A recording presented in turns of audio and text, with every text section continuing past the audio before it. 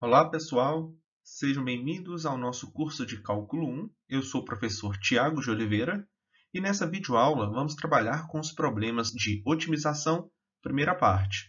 Bora lá! Nessa videoaula, vamos trabalhar com os problemas de otimização.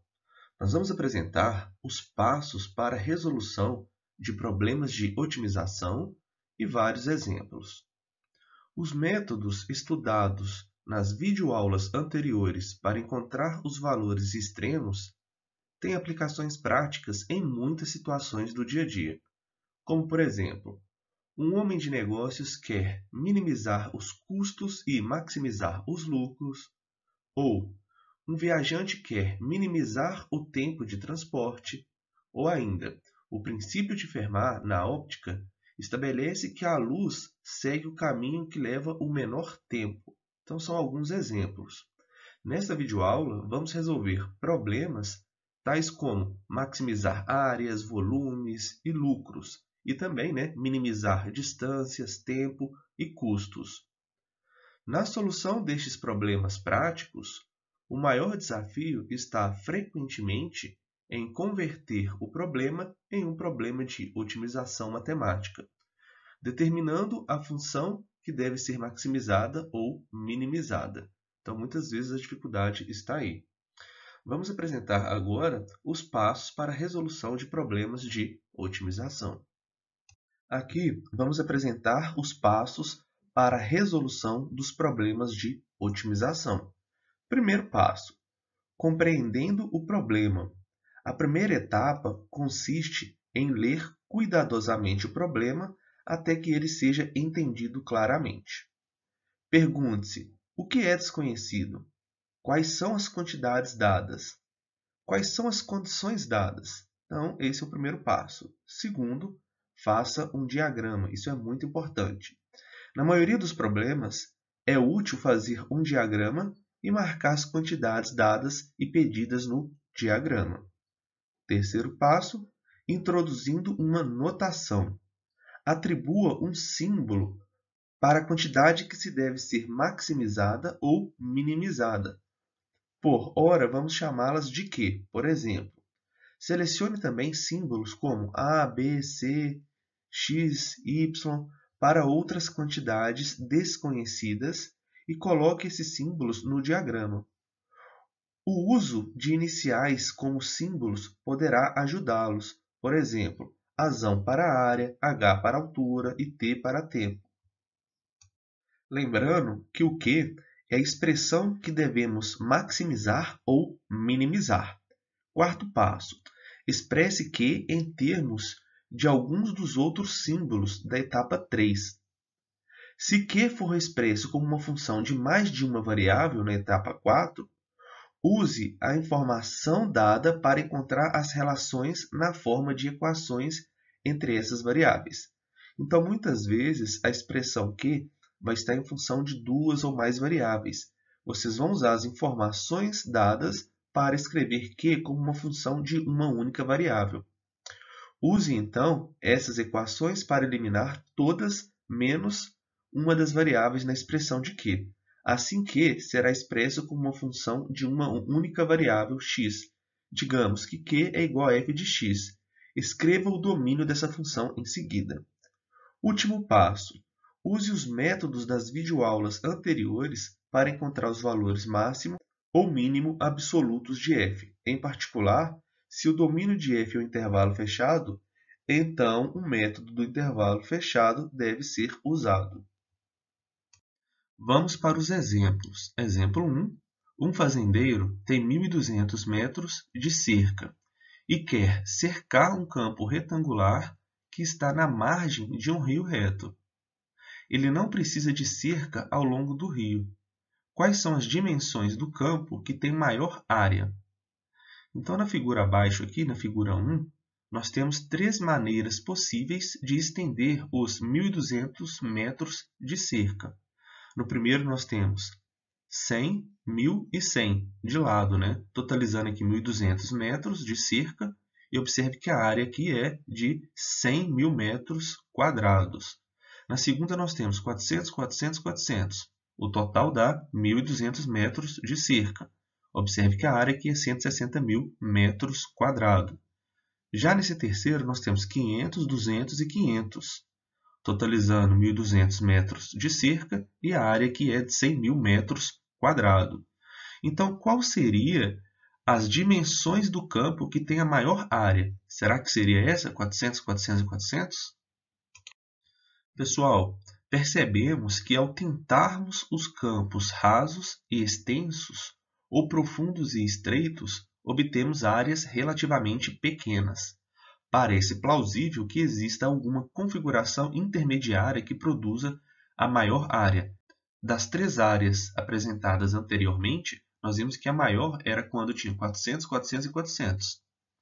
Então vamos lá. A figura ao lado ilustra o caso geral. Então nós temos aqui a nossa cerca, que é x, y e x. Beleza. Desejamos maximizar a área azão do retângulo, sejam x e y, a profundidade e a largura do retângulo em metros. Então, expressamos A em termos de x e y. Então, a área aqui é o quê? x vezes y. Beleza.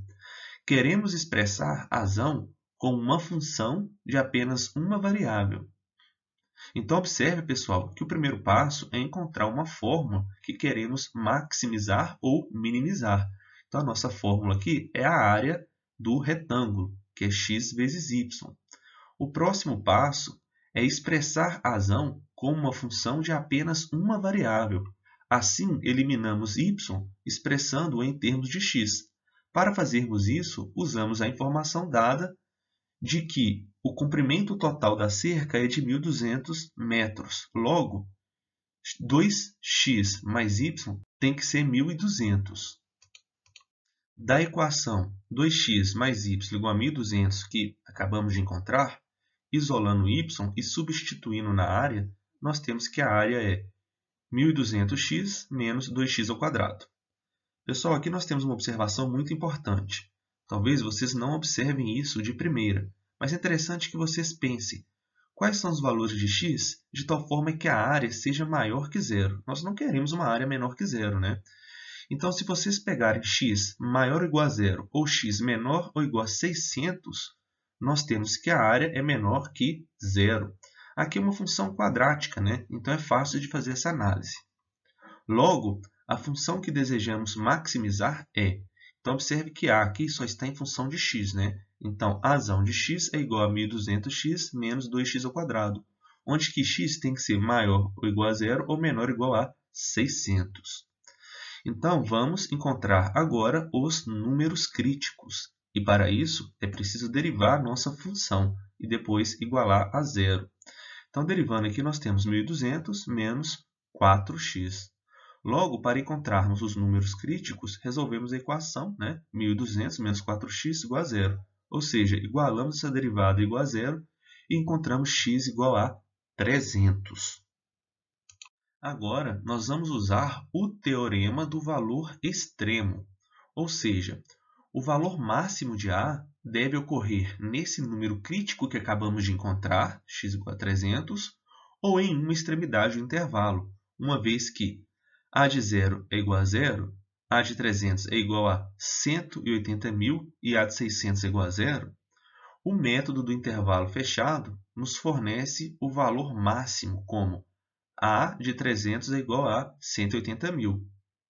Alternativamente, poderíamos ter observado que a segunda derivada da nossa função é igual a menos 4, ou seja, é menor que zero para todo x. Logo, A é sempre côncava para baixo, e o máximo local em x igual a 300 deve ser um máximo absoluto. Assim, o campo retangular deve ter 300 metros de profundidade né, e 600 metros de extensão. Então, aqui seria 300, 300 e aqui 600 seria as dimensões para obtermos a maior área deste retângulo. Exemplo 2. Uma lata cilíndrica é feita para receber 1 litro de óleo. Encontre as dimensões que minimizarão o custo do metal para produzir a lata. Então, o primeiro passo é construir um diagrama, como esse da figura 3, onde R é o raio e H a altura, ambos em centímetros. A fim de minimizar o custo do metal, nós vamos minimizar a área da superfície total do cilindro, ou seja, a tampa, base e lado. Então, da figura 4, nós temos que o lado do nosso cilindro é feito de uma folha retangular com dimensões. Então, nós temos a altura h e o comprimento da nossa circunferência aqui da base, que é 2πr. Logo, a área da superfície é o quê? É a área desse retângulo mais duas vezes a área da base. A área desse retângulo é 2πr vezes h mais duas vezes a área do círculo, que é πr ao quadrado. Assim, nós temos a área total do nosso cilindro. O próximo passo é escrever essa área total do cilindro como uma função de apenas uma única variável. Então, para eliminarmos uma variável, por exemplo, h, usamos o fato de que o volume é dado como 1 litro, que é igual a 1.000 centímetros cúbicos. Logo, o volume, que é área da base vezes altura, ou seja, πr ao quadrado vezes h é igual a 1.000. Então, isolando h é igual a 1.000 dividido por πr ao quadrado. Substituindo na expressão para a, nós temos. Então, onde tem o h, nós vamos substituir por esse carinha. Assim, nós vamos ter 2πr ao quadrado mais 2.000 sobre r. Pessoal, observe que a expressão a agora está em função da variável r. Então, podemos escrever, né? Razão de r é igual à expressão que encontramos. Ou seja, nós queremos minimizar essa função tal que o r tem que ser o quê? Maior que zero. Então, os próximos passos é o quê? Achar os números críticos. E, para isso, vamos derivar a nossa função. Derivando a nossa função e reescrevendo, nós vamos ter 4 vezes πr ao cubo menos 500 sobre r ao quadrado. Em seguida, vamos igualar essa derivada a zero. Então, quando igualamos isso a zero, o numerador aqui tem que ser igual a zero. E o numerador é igual a zero quando né, o π r ao é igual a 500. Logo, o número crítico é r igual a raiz cúbica de 500 sobre π.